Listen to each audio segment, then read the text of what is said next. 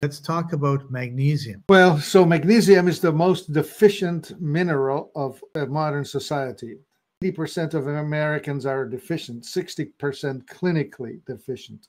If you're tense, you are lacking magnesium. You want to supplement it. That is what relaxes you. That is what activates the rest, repair, parasympathetic sleep cycle. And every time you get overly excited, that's driven from calcium and it depletes magnesium. And if you're unable to relax, that's because you don't have enough magnesium on board. Should you be taking it orally or should you be putting it on your skin? Or what's the best way to uh, make sure that yeah, when you take it orally, it will activate the uh, peristalsis, the movement of food through your internal systems. So if you're a constipated type, you'll be excited to learn about magnesium. If you're not constipated, then you want to apply it topically because it will bypass the gut. And so we have the topical version of it and rub it on your chest, your belly, your leg, or wherever you want to rub it.